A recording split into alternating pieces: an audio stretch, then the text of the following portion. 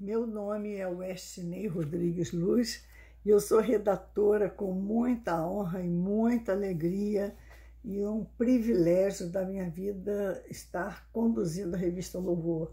Tem em minhas mãos a revista número 1 um da Louvor. Ela foi é, possivelmente em 1977. Esta é a número 1. Um.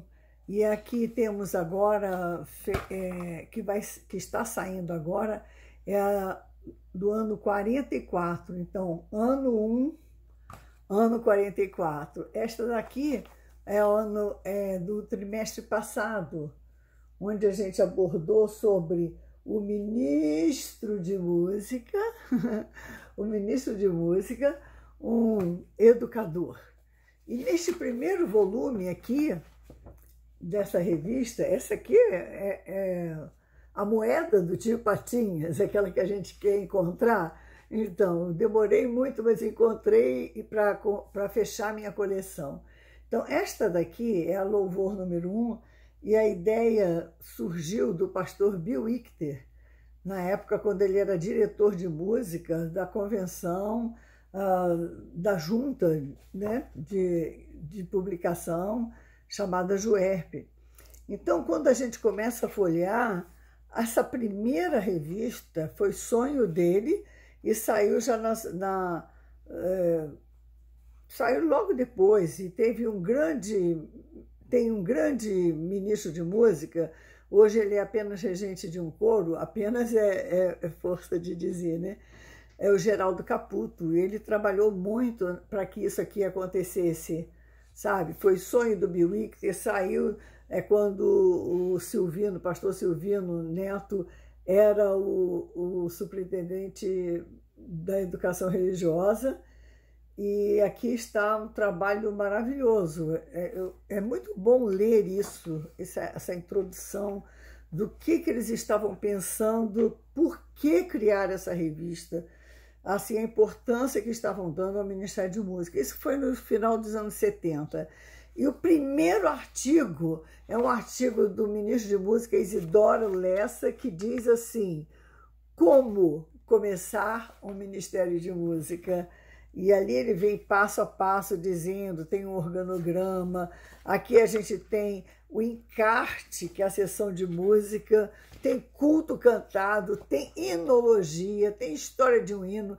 Tem o grande professor e compositor Gamaliel Perrucci, hoje está nos céus, né? na glória. Ele, ele escreveu também sobre o ministro de música. É interessante, né? O Seminário do Norte está fazendo aniversário agora no dia 1 no dia 30 já vai ter uma comemoração de março e vai ter um encontro é, discutindo, uma mesa redonda sobre o ministro de música. Olha só, um grande professor do Seminário do Norte escreveu há 41 anos atrás, quase 42.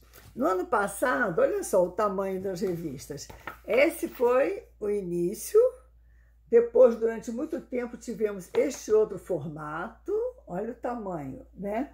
E agora voltamos praticamente para o mesmo formato, formato inicial. Ano passado, todas as revistas foram sobre salmos. E aqui está muito interessante, né? Essa figura do, do rei Davi, dá para enxergar? Eu acho que dá para ver, né? Houve um panorama geral, Salmo 84, pastor Carlos Novaes é, é, me ajudou, cooperou com a gente, mandou é, artigos, Jonatas Lopes, que agora é um formando em teologia, é, e muitos outros ministros de música ajudando. Ah, então, qual foi é, cada revista do trimestre passado foi toda sobre o louvor. Então a revista mudou de tamanho e entramos em 2021. 2021 tudo foi sobre as quatro facetas, pelo menos, do Ministério de Música, do ministro de Música. O ministro de Música é um educador, um conselheiro, um aconselhador, um, um, aquele que pastoreia, né? Porque atrás de uma estante ah, não tem só partitura. Atrás de uma estante a gente tem músicos, pessoas com dores, com dificuldades, né? com é, dúvidas, com problemas emocionais, espirituais, se é que a gente pode dividir né, os problemas de um ser humano, né, pensando no ser humano como um todo. Olha só, esta revista trouxe tudo sobre ele como um educador. E aí é, aconteceram pesquisas entre vários ministros. Como é que você age? Você entende que o ministro é um educador? E a gente, e aí eles foram respondendo. Ah, sempre ao final tem uma ordem de culto. Às vezes a ordem de culto vem arrumadinha, só você imprimir, ela já sai no formato. Às vezes não, às vezes vem uma ideia melhor. Tem a, a sessão Biblioteca do Músico, onde alguns livros são indicados, pensando assim, o que, que o que, que o músico precisa ler? Como é que, às vezes, essa biblioteca do músico acompanha o tema daquela revista, então fica muito interessante. E é sempre o ministro de música que ajuda, quando, quando o ministro de música ou um outro professor não pode, eu escrevo, mas normalmente são eles. No repertório, tem sempre um repertório, e tem sempre uma pequena história de cada compositor ou tradutor, é, tem os temas todos de versículos bíblicos que você pode usar durante o ano. E tem uma sessão maravilhosa. sou, sou suspeita em falar, né? Mas tem uma sessão assim, aqui é o sumário. Aqui você encontra tudo que vai acontecer, né? Mas aqui tem sempre uma figura de importância musical na educação, nos nossos seminários, ou um missionário que veio e implantou. Nessa revista sobre o ministro educador está um grande professor que já está há muitos anos no seminário, que é o professor Teógenes Figueiredo. Aqui nesta revista sobre Salmos, a foto é do Almir Rosa, nosso primeiro ministro de música, né, formado pelo Seminário do Sul, foi para o Espírito Santo, fez um excelente trabalho. Ah, isso daqui é como se fosse assim, vamos pegar alguém importante e não dá para cobrir tudo, porque a revista é uma só, são muitos assuntos, aí a gente coloca só um pequeno trecho aqui, né? A, de, a, da, a revista de agora, desse trimestre que está surgindo agora, é uma revista sobre o ministro de música, um é, pastor, um conselheiro. Mas essa primeira foi sobre educador. E nesse, é, na terceira que nós vamos ter, que vamos fazer, desse ano, é, será sobre o ministro de música, um gestor, um administrador, né? Porque ele não é uma coisa só, são várias facetas. Muitas vezes ele nem percebe, mas ele já está fazendo tudo isso, então ele tem que administrar, pensar em escalas, é, como é que eu vou fazer isso. Existe um programa agora, e nessa nova revista, do, do, que vai sair ainda, que está sendo elaborada, já, já até foi, já até foi, né? Porque a gente faz com antecedência, é, ela tem, traz vários ministros falando sobre que programas eletrônicos é, tecnológicos seriam, que aplicativos eles poderiam usar para ajudar a fazer aquela escala, aquele controle, uh, que eventos fazer, como fazer um evento, como organizar isso. E a última revista desse ano será sobre o ministro de música, um músico. Mas um músico, sim, é importante.